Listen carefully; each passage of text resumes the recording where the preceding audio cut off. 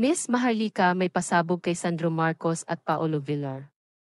Ang mga pasabog ni Maharlika ay napakasensitibo at kailangan ng maayos na pag-aanalisa bago magkomento. Sinabi pa niya na ang mga dalagitang mga babae ay pinapangakuan na maging maayos ang buhay, isang puting ahas umano ang nagbigay ng mensahe at walang iba kundi ang ina ng dalagita na naging biktima ng mga anak ng politiko ang nagbigay ng mensahe kay Maharlika. Kayo na po ang humusga kung ito may totoo o hindi ang mga pasabog. Pero ito, dapat malaman ng taong bayan dahil po concern ito ng mga ina ng mga kababaihan na mga aspiring beauty queens.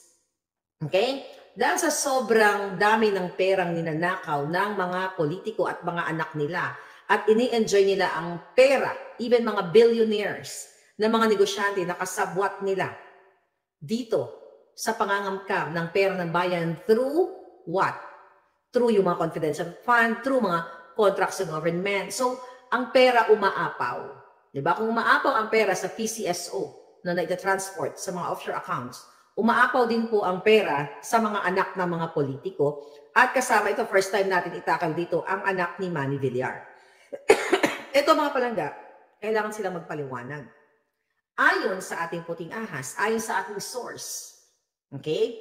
Na hindi nyo ako pwedeng pilitin. Jutang gininan nyo sa Congress para sabihin kung sino ang aking source. Aking puting ahas. Nire-recruit po ang mga batang kababaihan. Klepto, sabi ni Minda, superlative perpetual kleptometers and Rolex, dami. Nire-recruit ang mga ating mga inosenteng mga kabataan, maari isa dito ay you know, mabibiktima ang mga anak ninyo from 18 to 21 years old sa iba't ibang probinsya, mga magagandang sexy. Siyempre, when you're young, you're bubbly, you're beautiful, skinny, di ba? Binibiktima sa anong paraan. So, ayon sa ating puting ahas, ayan, itong, itong si Sandra at magkakasabwat sila, sila-sila ang gumagawa nito, sobrang abusive of power dahil nga po ino-offeran ang mga batang kababaihan ng what? Travel, expensive restaurant, even yacht, chopper, lahat ng mga uh, material things in the world ay ino-offer sa mga batang ito at pinangungunahan ni Sandrolex. Minda, thank you. pinangungunahan niya at pinangakuan ng mga what? Kondo? Apartment? You know, yung mga starlets yung mga aspiring, mga model, nagmo-model-model ng mga bata. Kasi usually, ang dami mga kabataan natin na they are like really dreaming na one day maging ganito sila, maging ganyan sila. At normal lang sa mga kabataan natin na mangarap sila. But actually, hindi na to, hindi na to bago. Kasi even yung mga artista, di ba, bago sila, hindi man lahat, bago sila bigyan ng magandang role, eh, chinachuk-chuk muna sila. Remember nung hearing ng uh, ABS-CBN franchise? Di ba? Even si Karen lumuluhod sa parking lot.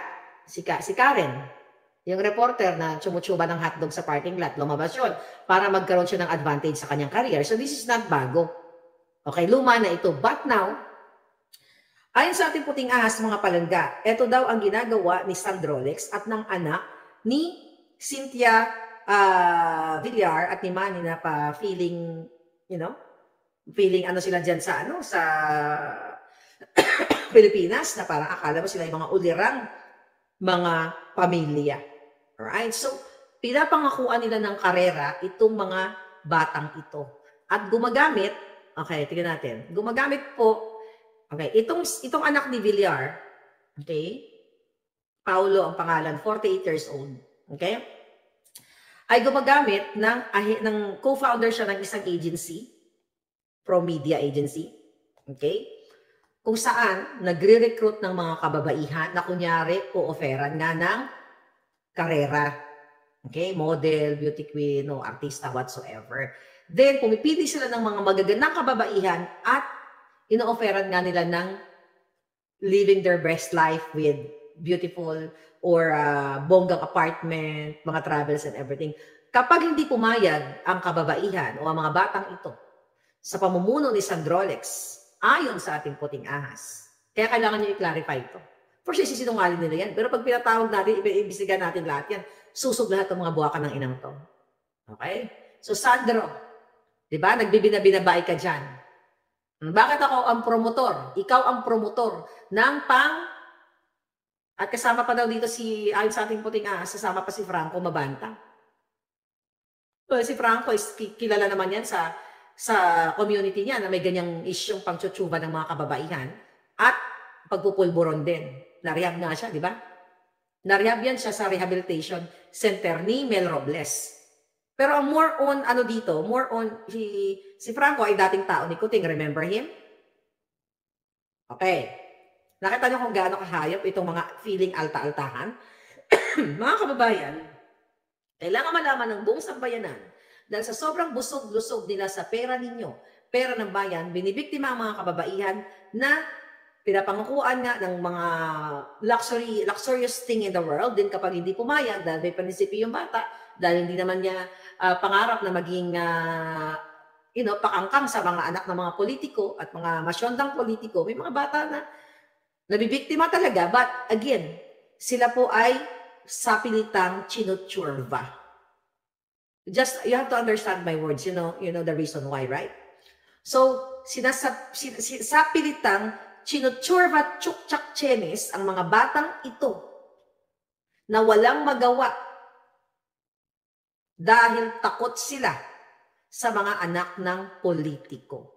Ganon kahayop, lapastanganin ng mga hayayupak na to, ang inyong mga anak, ang inyong mga anak na nangangarap lamang na magkaroon ng karera sa industriya ng showbiz, ng show business, ng beauty pageant, you know, mga ganyan.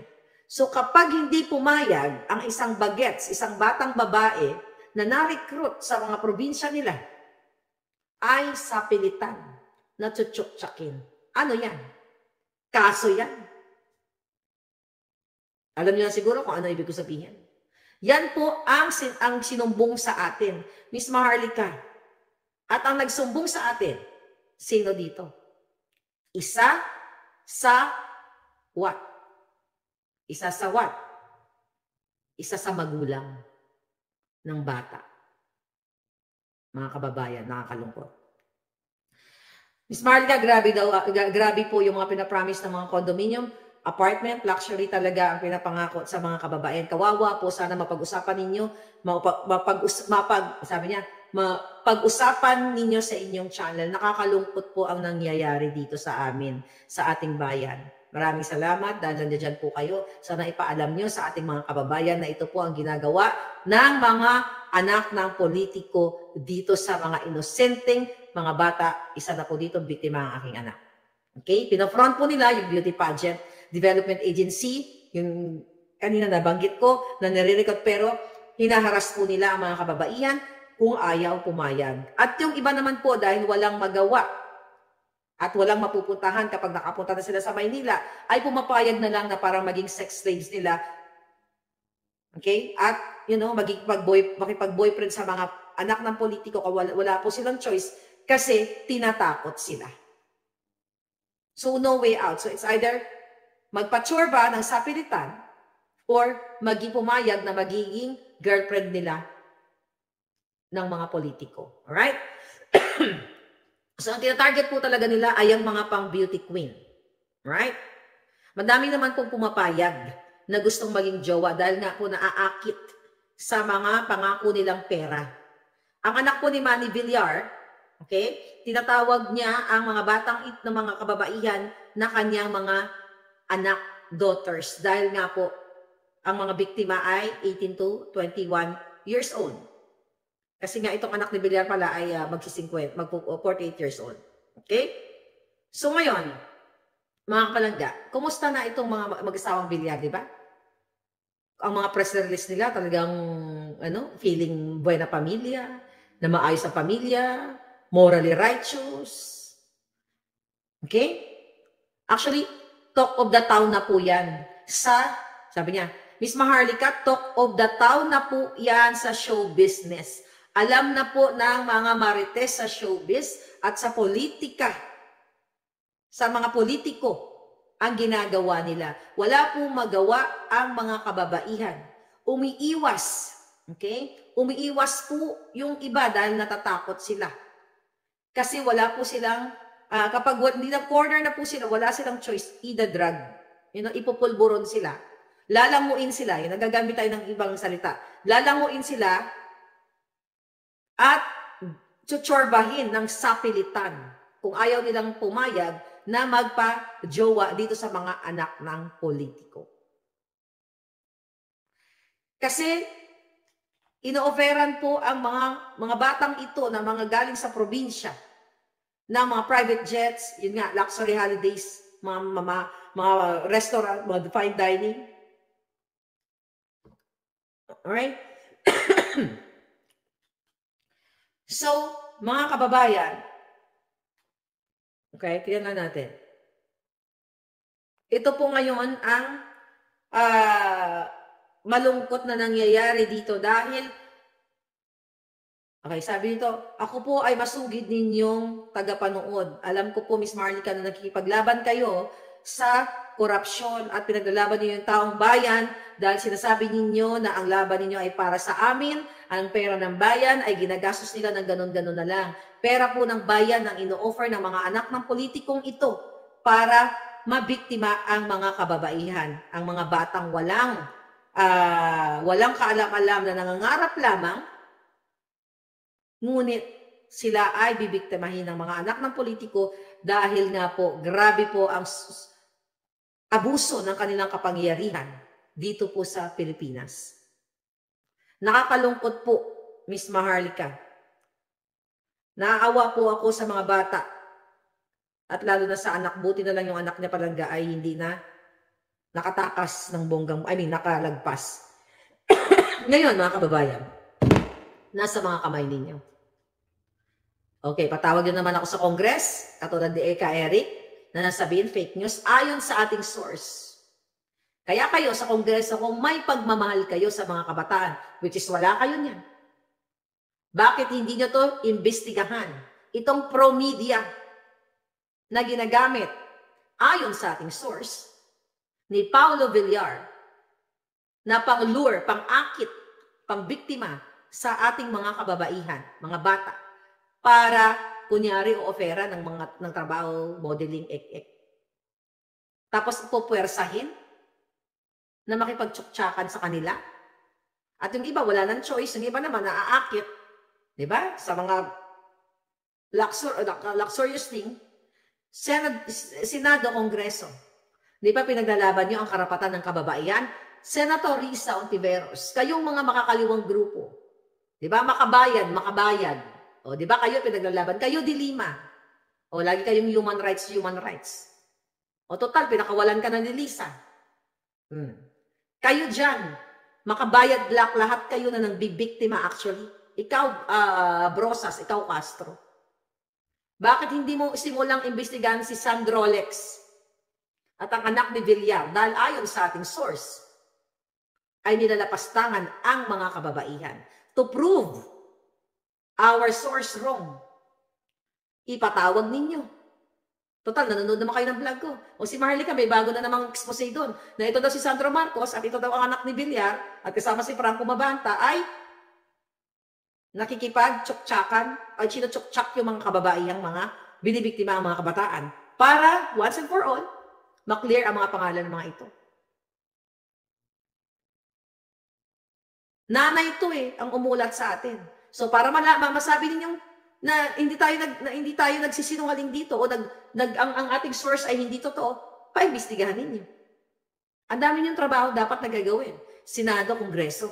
But you're not gonna do it. Yun nga lang si Glenn Chong sa Smartmatic, ayaw niyo ipatawag eh. Di ba? Ayaw niyo nga ako ipatawag eh. Patawag niyo ako yung tungkol sa pakipag-bribe ni, pakialam ni Lisa Smugs. Diyan sa Okada. At ni Tambalustos at ni Altenco. Dahil hawak ko ebidensya. Na makakapagpatunay na nagsasabi tayo ng katotohanan dito. Ah, palangga. This is just wake-up call sa inyo. Anong mapapala ko dito? Ang mapapala ko dito, risk ng buhay ko. Last year, nung simulan kong in-expose ang kahayupan ni Lisa at ni Kuting. No turning back palangga. No retreat, no surrender, ika nga. Sa kabila ng kanilang mga offer sa akin to keep my mouth shut. Pinili kong magsalita sa inyo at sabi ko sa inyo hanggang may dugo na nananalaytay sa katawan ko at kaya kong magsalita hanggang may speaking voice ako, I'm not gonna stop. Walang bilyon, walang, kar- walang perang katapat na magpapatigil sa bunganga ko. Dahil the moment na tumigil ang bunganga ko, isa lang ang ibig sabihin yan. Nasupalpalan ako ng pera at never ever mangyayari yan over my dead body.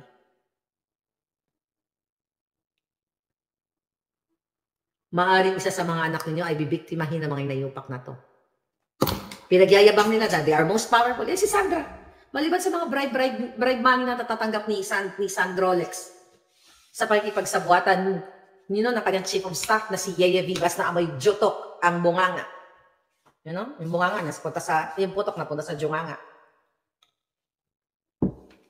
Ito, ipagpatuloy niyo. Gusto niyo ganito? Ganitong buhay sa Pilipinas? Takot kayo dyan mong salita kasi liligwakin kayo, di ba?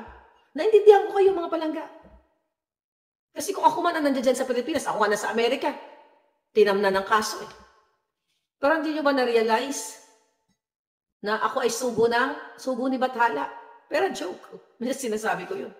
Ako ay sugo ni Bathala. Alam mo kung bakit? Sabi ko nga kahapon dun sa mga palangga ko kay Madam, kay Mayor na, Madam Mira kay uh, Roy. Nag- Nag-dinner kami. Sabi ko, ako siguro ay sugo ni Bathala. Natawa nga sila eh. Sabi ko, siguro nilagay ako dito sa Amerika. Yung sabi ni Bathala, sabi ng Diyos, diyan ka. Para ikaw taga, boljak, taga, release ng apoy sa mga kalaban ng bayan. Kasi tignan niyo yung ginagawa ngayon, mga vloggers, ginigipit. Tignan mo nga yung, well, hindi ko na kailangan magpaliwanag. Lahat kakasuhan. Di ba? Lahat kakasuhan nila. Tignan mo nga yung ganun nangyari nga sa SMNI. Magsasalita ka lang. Patanong. Tukon para magpaliwanag sila sa kanilang mga pagdanakaw.